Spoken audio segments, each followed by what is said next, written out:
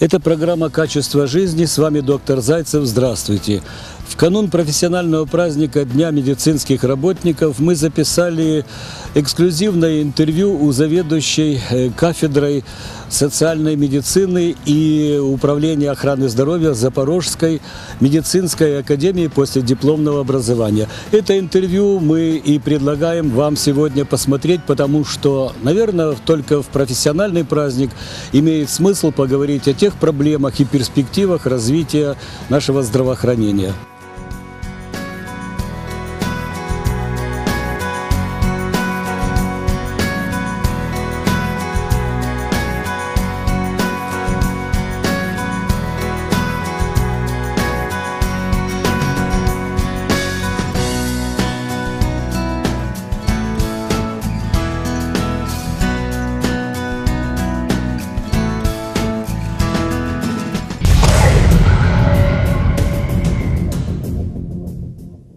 Я представляю гостю нашей передачи, заведующую кафедрой социальной медицины и управления охраны здоровья Запорожской медицинской академии после дипломного образования, кандидата медицинских наук, доцента Зинаиду Васильевну Лашкол.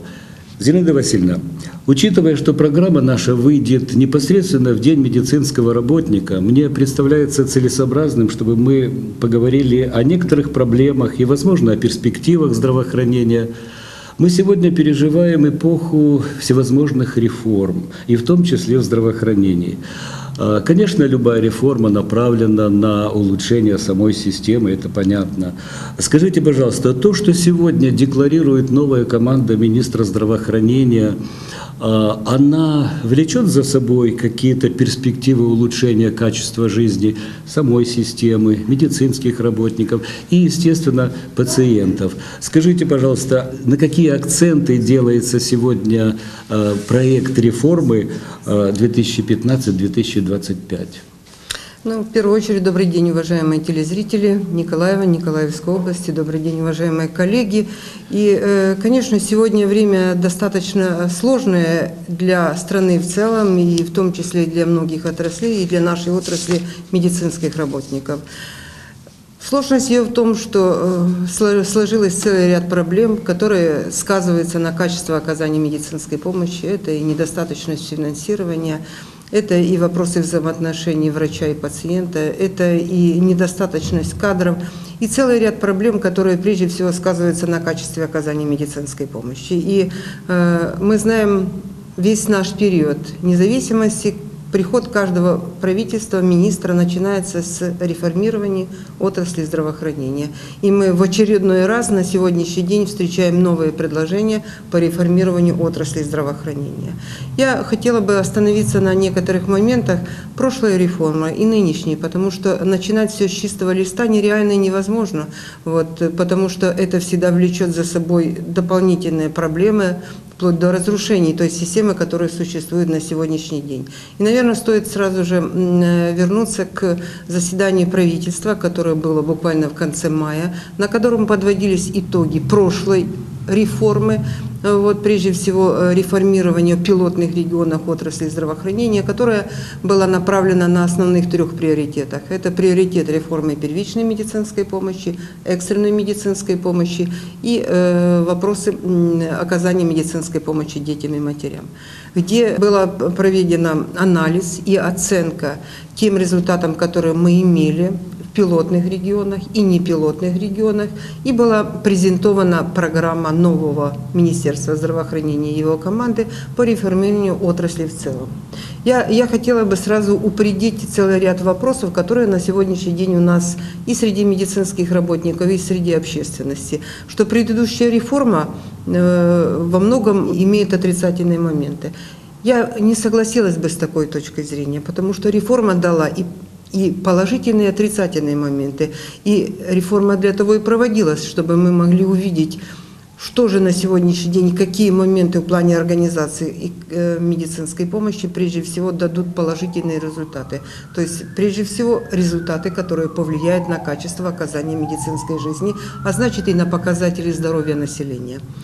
И э, если анализировать показатели здоровья населения, прежде всего за последние два года, то я должна подчеркнуть, что впервые за годы независимости Украина получила, мы имели снижение показателя общей смертности, вот, который был 14,5 на, на тысячу жителей.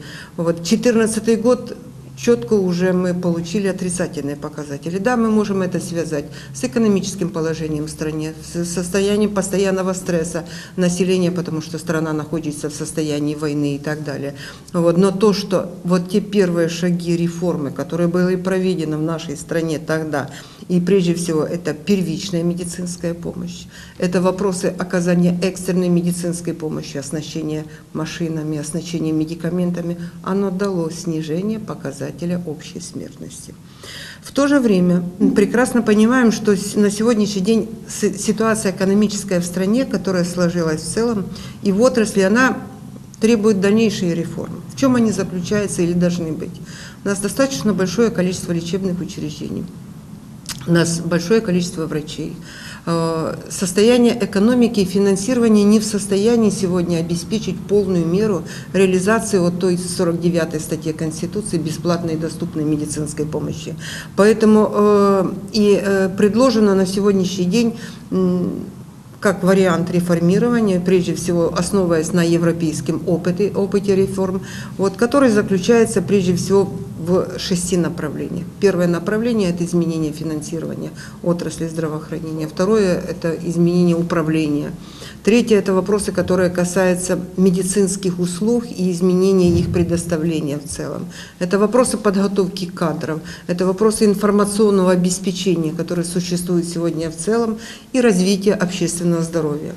Если касаясь вопросов финансирования, то э, предложение на сегодняшний день Министерства здравоохранения – это прежде всего изменение статуса лечебных учреждений или э, закладов охраны здоровья.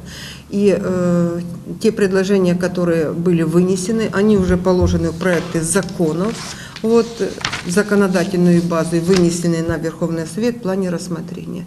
Это изменение статуса государственных и коммунальных бюджетных организаций, перевод их в коммунальные предприятия. Что такое коммунальные предприятия? Это возможность зарабатывать деньги вот, самыми различными путями. Для того, чтобы в законодательном порядке мы могли решить эти вопросы, понятно, необходимо внести изменения в целый ряд законодательных актов. И я бы, понятно, э, на сегодняшний день ну, обращалась прежде всего к руководителям лечебных учреждений, к руководителям департамента, э, районным э, радам и так далее. Внимательно ознакомьтесь. Пока что это только проект данного закона. Насколько реально его сегодня воплотить на местах и так далее, потому что там заложено целый ряд очень сложных моментов. Точно так же, как на сегодняшний день проводится территориальная реформа, и она по многим вопросам идет в разрез реформированию отрасли здравоохранения. Поэтому снова же требует от нас прежде всего э, изучить документы, э, поддержать или не поддержать, внести свои предложения и так далее, чтобы мы не наломали дров, как мы ломаем очень часто при проведении реформирования в целом. Зинаида Васильевна, ну вот вы сейчас сказали, что этот проект предусматривает, э, самое главное, три вот таких положения. Это первичное звено, оказание экстренной помощи и оказание помощи детям и матерям. Э, Понятное дело, вот на сегодняшний день первичное звено является, как вот э, образно выражаясь, слабым звеном. Если как бы сегодня наши управленцы, скажем так, не шарахались, да, а изучали этот закон и изыскивали средства для его реализации, правильно? Потому что он дается для того, чтобы мы обдумали и прорабатывали на местах э, вот эти вот ресурсы. Почему? Почему я об этом спрашиваю? Потому что любое усовершенствование первичного звена требует определенного финансирования. Вот хотелось бы знать, на чьи-то плечи упадет, потому что оснащенность сегодня, ну, низкая, мы с вами это знаем, тут скрывать нечего, да и подготовка кадров еще не на достаточном уровне, чтобы обеспечить то качество помощи, которое мы ожидаем. Я с вами абсолютно соглашусь в том плане, вот наши ошибки в чем? В том плане, что реализация какой-то программы идет впереди подготовки кадров. И мы э, получили отрицательную оценку реформы первичной медицинской помощи только потому, что пришли не готовые Не готовы. врачи, врачи-педиатры, терапевты, они готовы были в своей, в своей профессии и так далее. А быть семейным врачом и выполнять функции семейного врача они еще не готовы. У нас было время. И эти 8 лет, если на начало реформы п- положено 10 лет тому назад, для того, чтобы подготовить настоящего семейного врача, который бы владел бы всеми функциями, как в всем мире. Я одно могу сказать, что все равно у нас другого выхода нету. На сегодняшний день весь мир идет по принципу первичной помощи оказания семейным врачом, поэтому это, в этом направлении, конечно же, будет развиваться. Но что необходимо для этого, чтобы оно себя оправдало? Прежде всего, изменение финансирования, подготовка врача, изменение взаимоотношений между семейным врачом или врачом общей практики и местной властью. Сегодня основное финансирование ляжет на плечи местно- местной громады или ме- ме- ме- местного самоуправления. Э, На, насколько заложено в законодательстве, что деньги будут ходить за пациентом, то есть э, идет договор местной власти семейным врачом или центром первичной медицинской помощи на предоставление определенных услуг будет не финансирование, уже в законе записано, что финансирование бюджетных организаций с 1 января 2016 года не предусматривается, а будет расчет и оплата за медицинскую услугу. То есть семейный врач, врач вторичного уровня и так далее оказывает, предоставляет медицинскую услугу, и за нее будет рассчитываться местная власть или же пациент, или страховая компания, в зависимости от того, кто заказывает эту медицинскую услугу. Зина Васильевна, мы вот так незаметно подошли еще к одной проблеме, почти запретной теме. Вот смотрите, за более чем 20-летнюю историю существования нашего государства сменилось пять президентов, э, несколько больше премьер-министров и уж несчетное количество депутатов Верховной Рады. И сколько раз возникал вопрос о целесообразности, о жизнеспособности 49 статьи. И никогда мы не могли, ее- мы обманывались этой статьей и обманывали население. Это однозначно, по-моему, тут вообще никто уже теперь не спорит. Скажите, пожалуйста, вот сегодня это как раз э, та эпоха или то состояние наше, что мы имеем право все-таки прикоснуться и сказать людям правду, что 49-я статья э, не будет существовать или не будет, э, будут внесены соответствующие коррекции э, в Конституцию с учетом наших сегодняшних рыночных э, отношений в экономике. Действительно, все последние годы в Украине сложилась такова ситуация, что э, 49-я статья э, декларирует в том плане, что у нас бесплатная доступная медицинская помощь, а на самом деле она платная на всех уровнях и так далее, и в основном платная за счет населения. Об этом знают все, говорят все, но в то же время изменить э, ситуацию никто не хотел. Прежде всего, почему? Потому что 49-я статья – это политический вопрос. Вот. И, как правило, когда ее поднимали на уровне Верховного Совета, всегда оппозиционный блок вот, пытался Тормозил, блокировать, да? тормозит вот, и показать, что они, явля... они пропагандируют прежде всего бесплатную медицинскую помощь. Но чему мы пришли? Куда мы загнали наше здравоохранение? Мы загнали его туда, что оно стало на сегодняшний день один из, одним из самых коррумпированных, да, потому что больной приходит, он платит за все. Он платит за медикаменты, он за обслуживание, за палату, он благодарит доктора и так далее. В каждом лечебном учреждении абсолютно разные цены на эти услуги и так далее. Почему же государство за весь этот период не могло принять решение один раз и сказать, уважаемые наши жители, сегодня экономика наша позволяет только обеспечить бесплатную доступную медицинскую помощь детям, инвалидам и участникам Великой Отечественной войны, допустим, И неотложную, и неотложную медицинскую помощь, а все остальное будет платно, но эти цены будут установлены, и вы, оплачивая ее, вы имеете право потребовать и качество оказания медицинской помощи от врача, от лечебного там учреждения и так далее. Вот, поэтому неоднократно поднимался вопрос о гарантии государства или принятии закона о гарантиях. Что оно гарантирует с учетом тех денег, которые есть на Которые сегодняшний есть. день есть в бюджете. Сегодня в программе новой команды это звучит, да, но вот первые шаги, которые сделаны на сегодняшний день, я э, до конца не могу сказать, потому что в законах говорится очень сдержанно, кратко, а после этого будут постановы Кабинета министров, будут разъясняющие документы по данному вопросу, но я уже вижу в том плане, что планируется перевод вот, бюджетных организаций в коммерческие предприятия, а значит, они будут продавать эту медицинскую услугу, но эту медицинскую услугу будут покупать как население, так и государство. И э, государство будет покупать, допустим, или местная власть на ту категорию граждан, которая, согласно законодательству, имеет льготы на получение бесплатной, доступной медицинской помощи. Это прежде всего социально незащищенные слои населения.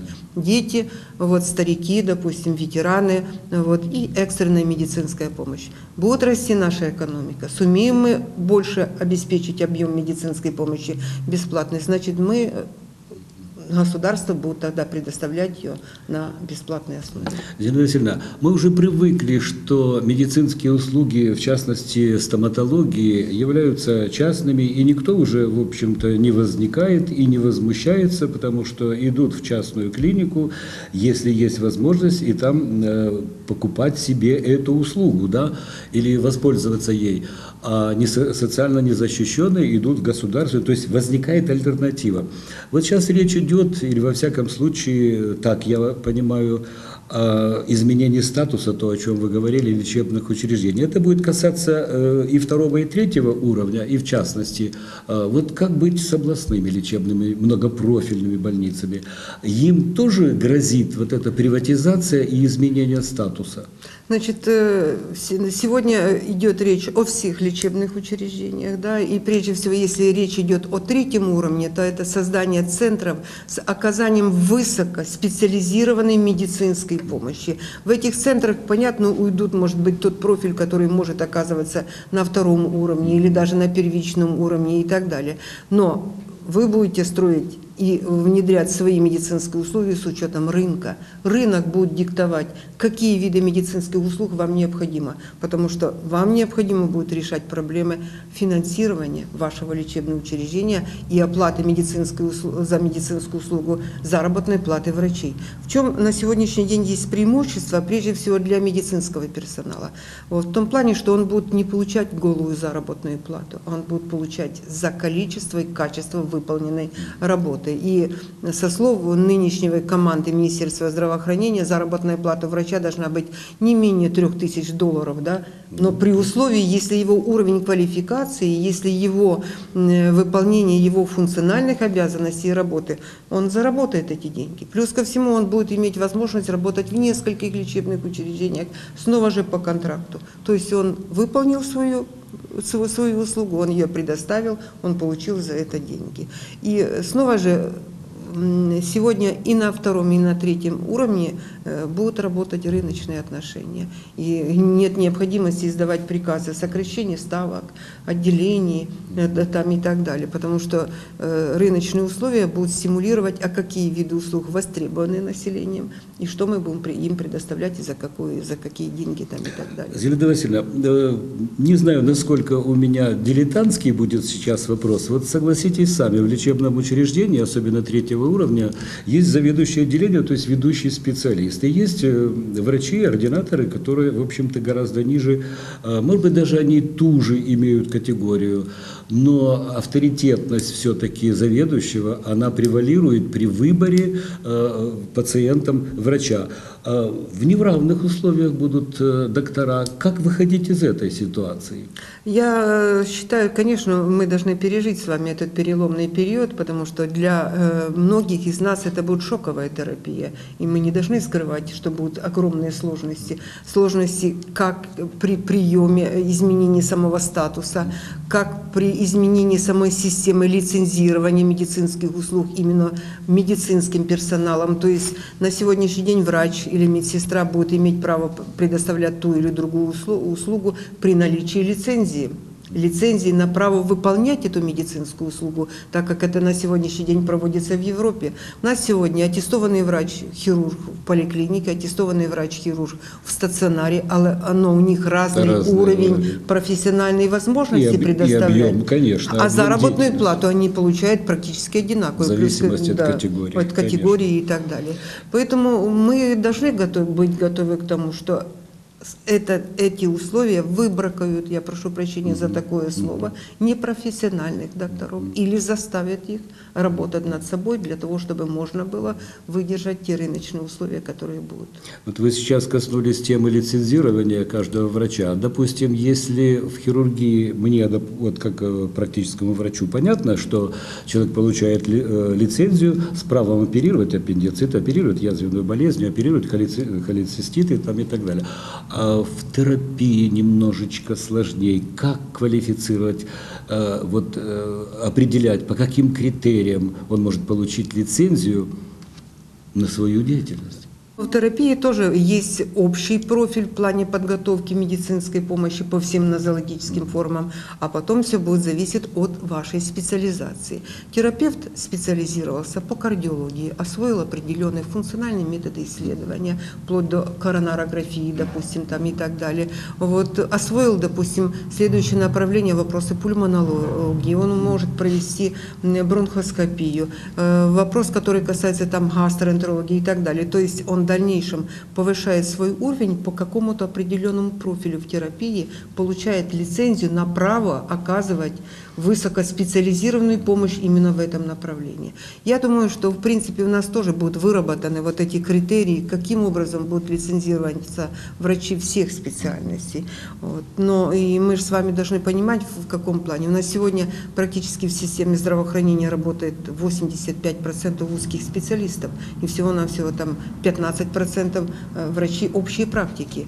А должно быть абсолютно наоборот. И сегодня отток врачей с узких специалистов должен пойти в специальности общей практики. практики. Вот пока эм, планируется в том плане, что как раз заработная плата врача общей практики, вот она будет в несколько раз выше, чем врача узкого, узкой специальности. Может, это материальный стимул и даст возможность перевернуть вот эту пирамиду, которую сегодня мы Но имеем. это благие намерения. На сегодняшний день, например, вот э, вы ясно представляете вот этих э, альтруистов, инвеститоров, которые будут вкладывать свои деньги в развитие, допустим, сельского здравоохранения или здравоохранения вообще первички. Вот э, как вот в этом плане? Вот ваше просто мнение. Если мое личное мнение, то мне очень сложно сегодня понять эту ситуацию. И я э, сегодня, просто зная ситуацию экономическую в государстве, экономическую в среде населения и так далее, вот, ведь у нас, э, ну, наверное, где-то больше половина процента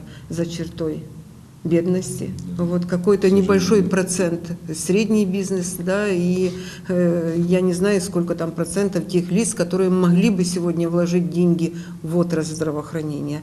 Вот, но внимательно почитайте снова основы законодавства про охрану здоровья, где практически предусматривается, если будет изменен статус м, э, учреждения Учреждения, здравоохранения, то предусматривается 50 на 50. 50 за счет государства или э, громады, да, а 50% это могут быть и деньги медицинского персонала, это могут быть и деньги инвестора, да, олигарха, да, как мы его сегодня называем, который вложит деньги в это лечебное учреждение, но понятно, что и будут требовать возврата или получения прибыли от этого лечебного учреждения. Ну, это Работать в рынках, в рыночных условиях сегодня будет очень тяжело.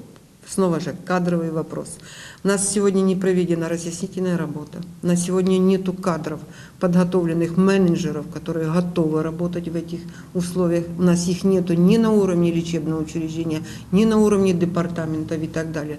Вот. А то, как сегодня пытается провести эту работу, что уже буквально с 1 января 2016 года прекращается, допустим, бюджетное финансирование, которое вызвало наибольшее, по-моему, на сегодняшний день сопротивление и среди сотрудников, среди депутатов Верховного Совета, среди медицинской общественности там, и так далее.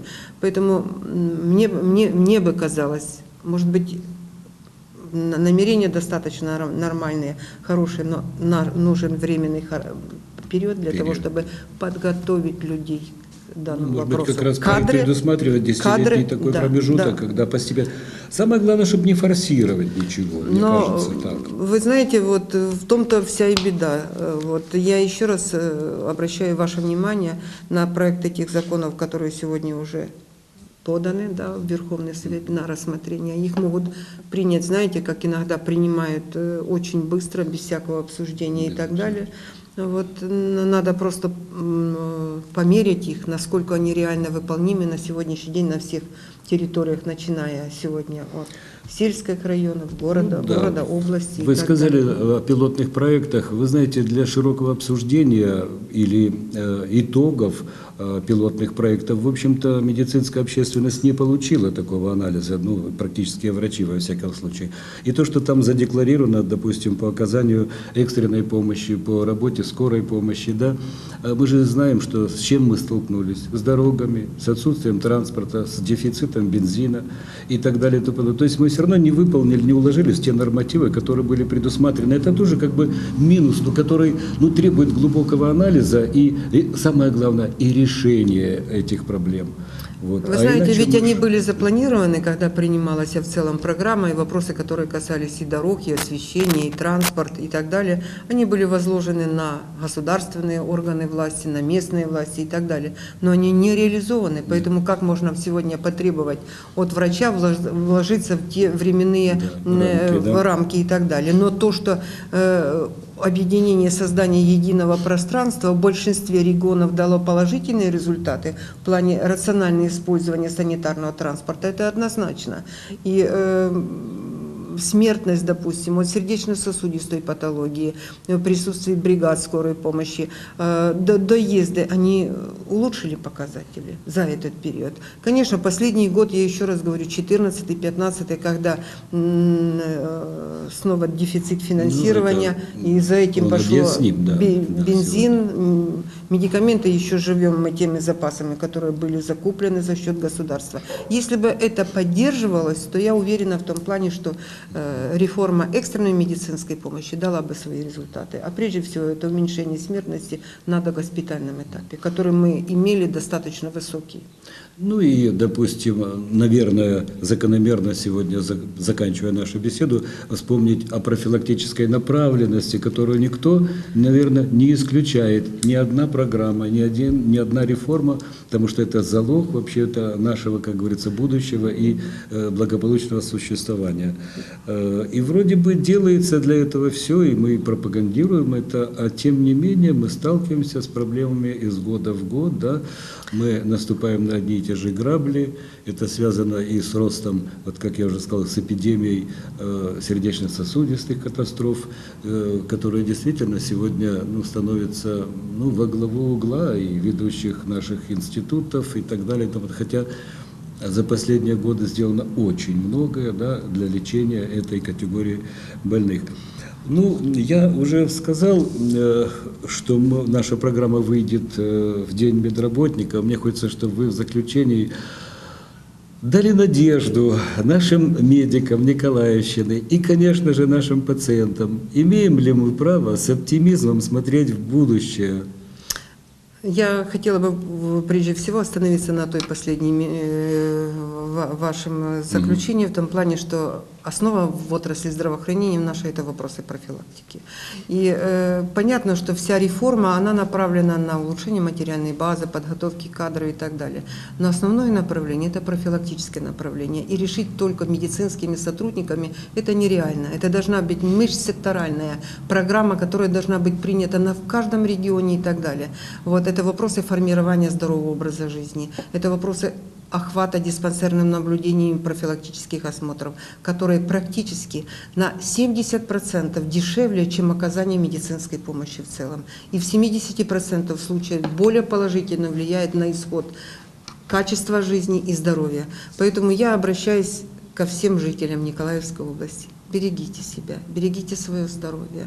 Чаще приходите к врачу, контролируйте артериальное давление, контролируйте холестерин, сахар крови и так далее, который в обязательном порядке положительно скажется на вашем здоровье, на качестве вашей жизни и так далее. Такими же словами я хотела бы обратиться и к медицинским работникам, потому что здоровье – это залог прежде всего вашей жизнедеятельности, вашему оптимизму в плане реализации тех задач, которые сегодня стоят перед нами. Период непростой, он сложный, но мы переживали с вами не один период и решали все проблемы, которые касаются здоровья нашей, на- нашего населения и здоровья нашей нации. Еще раз с наступающим вас Днем медицинского работника. Всего вам самого доброго. Зинаида Васильевна, я хочу поблагодарить вас за участие в нашей передаче и поздравить вас лично, вашу кафедру, весь ваш коллектив э, с Днем медицинского работника и пожелать, конечно же, больших успехов, э, большой энергии, которая вам так необходима для осуществления всех тех задумок, программ, которые стоят перед здравоохранением вообще и перед институтом, э, перед академией в плане подготовки кадров в частности э, для того, чтобы улучшить э, и наше видение, и нашу перспективу, и, естественно, качество жизни и медиков, и, естественно, наших пациентов. Вам огромное спасибо. Спасибо большое. Спасибо.